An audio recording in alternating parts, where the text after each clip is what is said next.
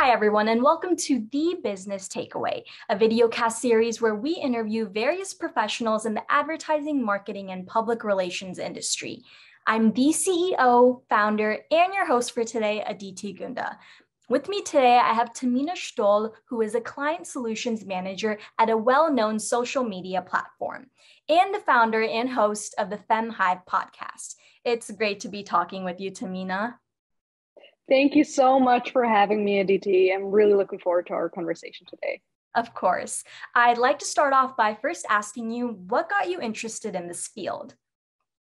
Yeah, very good question. So um, let me take a step back there. So growing up, I actually thought that I was gonna go into journalism. My dad is a journalist, and you know, I always enjoyed like writing and you know communication. And I actually started out as a radio reporter back in in, in Munich, where where I'm from, and then even throughout the first like two three years um, of my college career, I took a lot of journalism classes.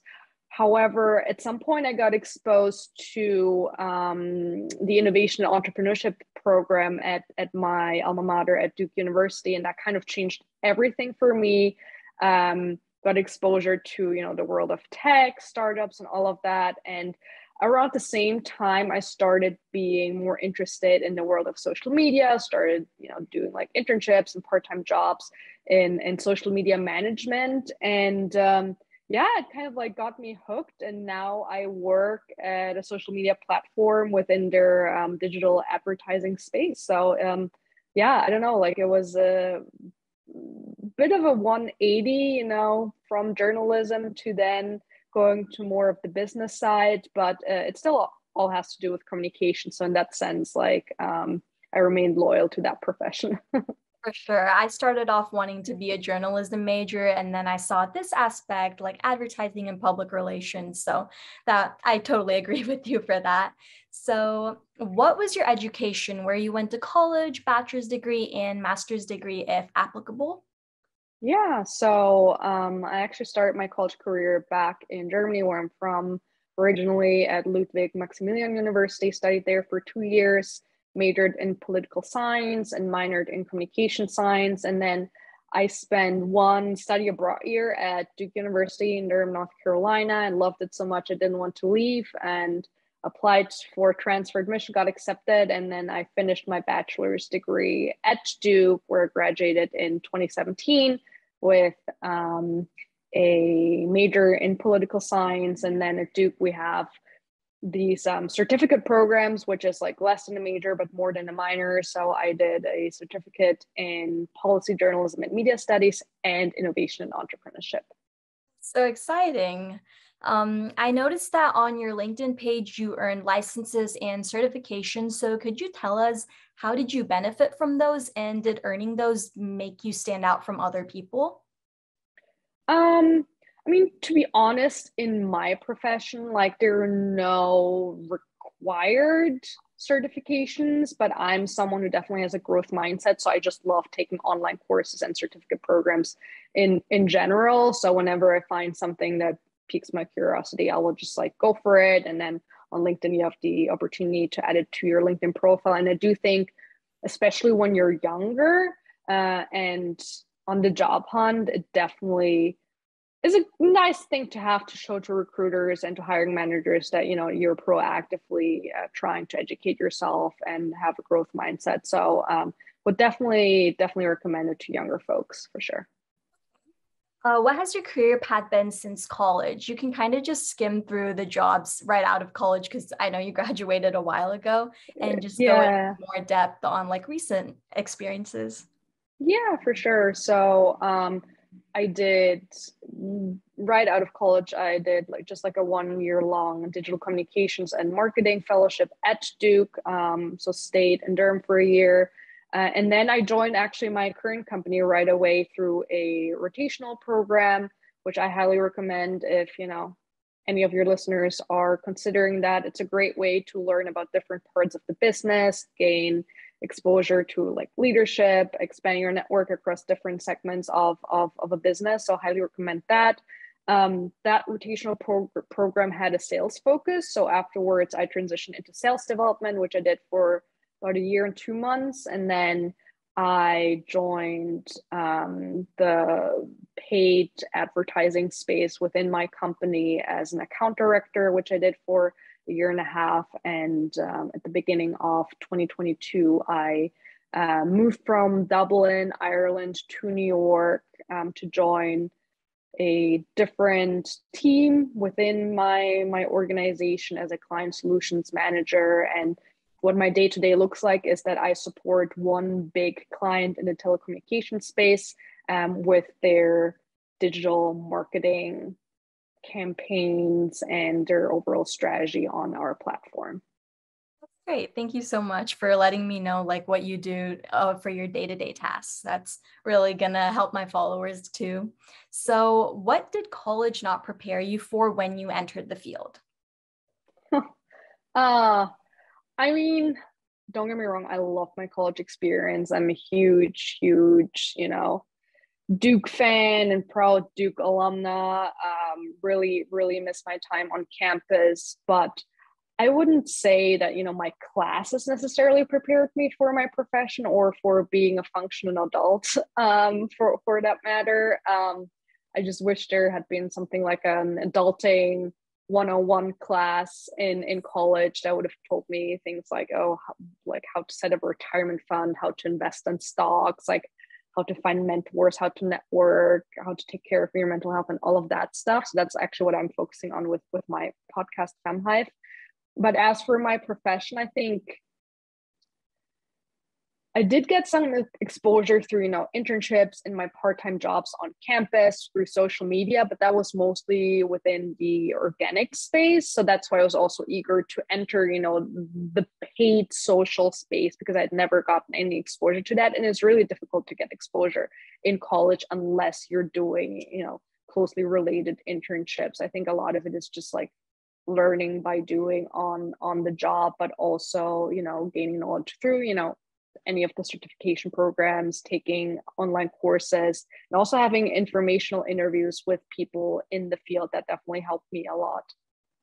Awesome. So, going based off of that, you answered a lot of this question. So, what else would you encourage early in career professionals to do to land a job like yours? Yeah, um, definitely like networking is is key, and don't be afraid. You know, I know exactly what you feel like. You know, trying to to land an internship for the summer or trying to find your you know first full-time gig out of college. I know exactly what that feels and i've come to experience personally that people most people at least are definitely willing to pay it forward because first of all nobody can thrive in isolation and second of all we you know people who are a bit further you know in our careers and even more so more senior people who might seem like very intimidating like we were once college kids who were trying to you know get to where we are today right? And we had sponsors mentors people who who would guide us along the way. So i definitely recommend like even if there's someone feel like oh my god this person is like i don't know like a senior executive at, at this company they will never reply like just give it a shot, especially if you have some sort of a commonality. Like I always recommend leveraging your college's alumni network. Like I would never say no to talking to a Duke student who's reaching out to me. In fact, I am like actively like mentoring Duke students and recent um, Duke graduates. So definitely take advantage of that with your own alumni network. Um, because yeah at the end of the day we want to pay it forward and also don't forget people love talking about themselves. Right. Thank you. I know how many people stress how networking is so important in this field. So how exactly do you think we should reach out to like other people? Like how should we network in your opinion? Yeah i mean kind of depends on the tools and resources you have access to. If you have you know an internal like alumni database where you can access emails. That would definitely always be my my my my, my first priority. But obviously there's also pages like or like websites like linkedin where you can search for people even like filter by university so you can identify uh, fellow alumni and reach out to them. Like look at their profiles like find those commonalities and then reach out and be like hey um, I'm Aditi and I'm really interested in learning more about your time at company XY in your role XY because I'm really interested in pursuing a career in this field. I saw that you recently posted this on LinkedIn, or I recently saw this or read this article that you read, and it really piqued my curiosity, blah, blah, blah, blah. I think it always helps when you show that you've done your homework and reference something on, you know, their profile or something that you read about them you know something something like that. And um, then just like ask if they have like 20 30 minutes to chat over zoom or on the phone sometime over the next couple of weeks. Um because like the worst thing that can happen is is they say no right? But if you don't even try it's automatically already a no. So you can you can only win in that scenario. Right. Those are some great points you bring up. Thank you. Um what hard skills would you say are essential to your position? Oof. So I think because my position is technically a sales position, like I think soft skills are probably more important than hard skills, you know, like having people skills, communication skills, emotional intelligence. But I do think that it is important to have some basic industry knowledge, as in like understand how digital marketing and specifically paid advertising works you know there's like lots of like acronyms and like jargon like you know what is a ctr like a click-through rate or cost per click um, cost per lead you know number of impressions ad frequency like all of that stuff. Something that i had to learn myself when i entered this field. It's not super complex um, but it is something that you know especially when you're talking to clients or when you're talking to agencies which i do on a daily basis you know those are like the kind of things you do need to know. And in addition to that i definitely recommend that you just stay on top of industry um, news you know like subscribe to newsletters um, listen to podcasts like follow people online that are in that space just to make sure you you're aware of of, of trends. Thank you uh, did you learn anything from other people's mistakes? And if so, what did you learn? Ooh, that's a good question. Um, hmm, trying to think. No worries. I feel like I tend to focus on learning from my own mistakes as opposed to looking at other people. Um, just because I feel like that leads to accelerated growth if that makes sense. Like for me um being more patient and like living in the present. I know this doesn't necessarily like have something to do with my profession um, but it has definitely helped me tremendously personally and professionally because i've come to realize that you know when you're constantly obsessed with the future and you stop enjoying you know being in the present living in the moment you lose track of time very easily and you stop also being grateful for the things that you've already achieved. So uh, as someone who's just like incredibly ambitious and who set outrageously ambitious goals for herself in life and i'm not saying that i'm going to stop doing that i definitely still do but pausing here and there definitely helps don't panic if something doesn't work out the way you had initially pictured it. Like I've come to realize that a lot of the goals I set for myself initially that didn't work out or worked out in a different way than I'd initially planned for or anticipated, it ended up being a silver lining. So be be patient first and foremost with yourself and also like show yourself some grace. I understand that. I love that answer. um, how did you progress from a lower position to a higher position?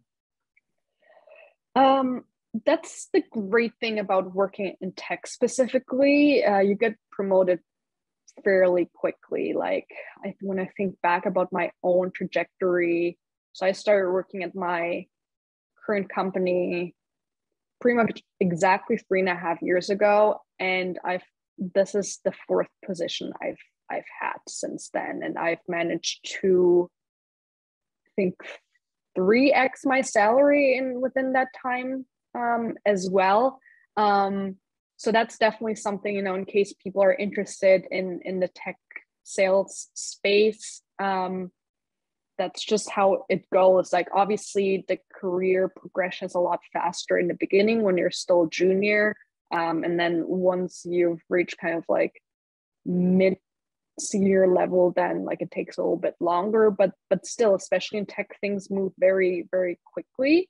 Um, so if you um, obviously achieve your goals reach your kpis and and, and all of that the things that you you know agreed on especially like in in sales um, we care a lot about numbers and you'll you usually only get promoted when like you hit or you know when you when you are able to to achieve your your kpis um, so that's very important but at my company for example they also care about you know leadership skills for example th- like being involved in things outside of your core roles. I always recommend um, that people also work on their personal brands by getting involved in things outside of their core roles. For me specifically i'm very passionate about gender equality and advocacy and diversity inclusion and belonging. So i got involved with our women at group at my company and led it in the dublin office for for a year that allowed me to gain more exposure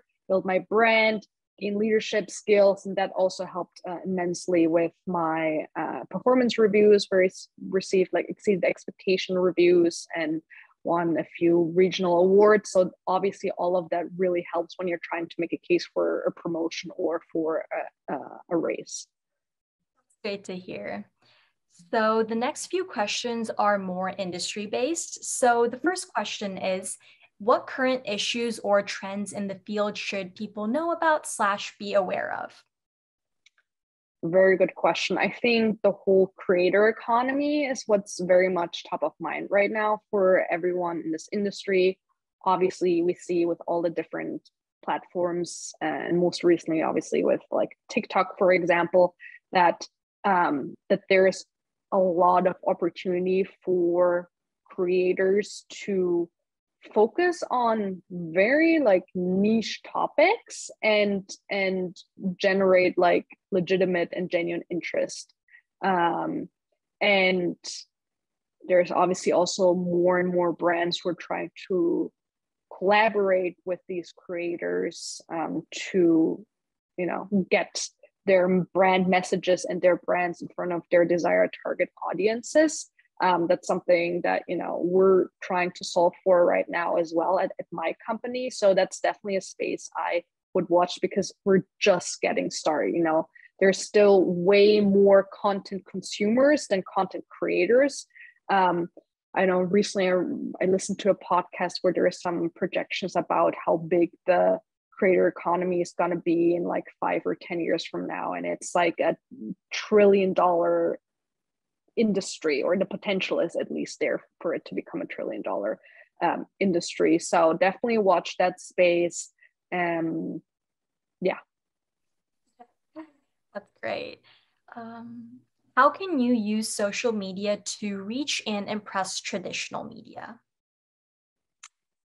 I think what i love about social media is again the fact that there which is a can be a good and a bad thing. Um but it removes kind of like the gatekeepers as in like former traditional media right? Like someone like you and i you know we both have podcasts we can just go out and share our thoughts with the world right? And, and i think that's really awesome like having a creative outlet like being able to reach out to people you know across the globe and interview them you know and ask them these questions. I think that's that's fabulous and it allows people to to move closer to one another um, obviously we got to make sure that you know the information that is being spread is like accurate and you know that that's like a whole whole separate issue.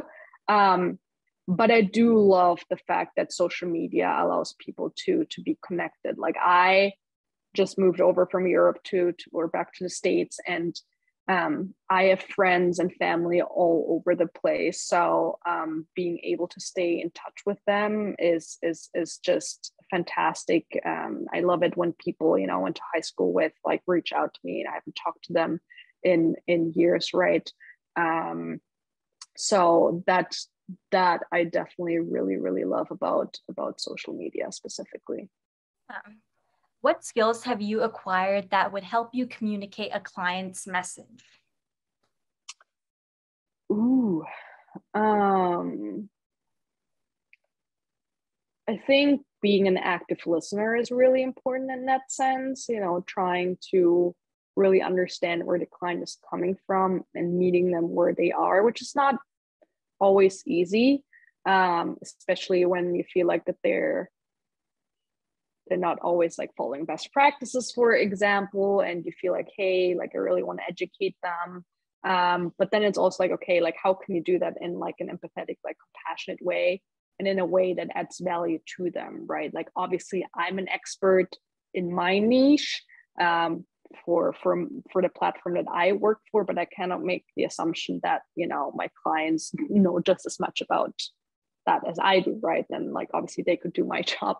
Um, so yeah, definitely like compassion, empathy, uh, active listening, uh, a little bit of persuasion as well.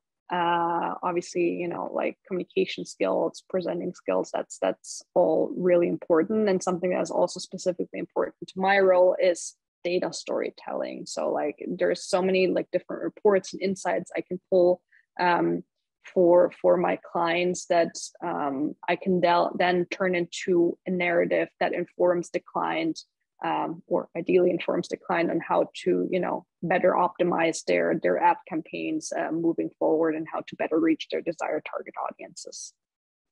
Great. Lastly, is there anything else you'd like to add on about your journey in this field or just any advice for early in career professionals? Just be kind to yourself. You know, I was really struggling when I graduated from college. I was suffering from post graduation depression for about two years. And so, um, know that you're not alone. Like the, the first couple of years post college can be really, really lonely. You're so far away from the best friends that you've accustomed to, you know, seeing every single day. Um, they kind of hand you a degree and like an adult salary and be like, here, go out in the world, good luck, without really, you know, telling you how how to do all of that, how to be a functional adult. So know that you're not alone. Uh, your feelings are valid. Have genuine and vulnerable conversations with the people around you know people you trust, your family, your friends, your your coworkers, and you'll soon realize that you know, no matter where in this world you live, no matter how prestigious your employer is, no matter how much money you earn, you're all in this together. Um, and as someone who's gone through this, I can tell you now at age 27 like things do get better. Like i'm the happiest i've been in years. I'm the happiest i've been since college. So um be kind to yourself give yourself grace be a little bit patient. Like i promise you there will be a silver lining. That was some great advice. Thank you so much. Well then that concludes the interview. Thank you so much for your time Thamina. It was truly a pleasure talking to you Likewise, Aditi, and thank you again so much for having me. I really enjoyed it. And uh, yeah, best of luck with all your endeavors. And to the audience out there, please don't don't hesitate to reach out. Uh, I, I'm sure Aditi will link to to all my profiles in the show notes. For sure. Once again, I'm Aditi Gunda, and this was Thamina Stoll on The Business Takeaway. Please don't forget to like, comment, share, and subscribe to our YouTube channel to be up to date with our videos. And please feel free to reach out about anything.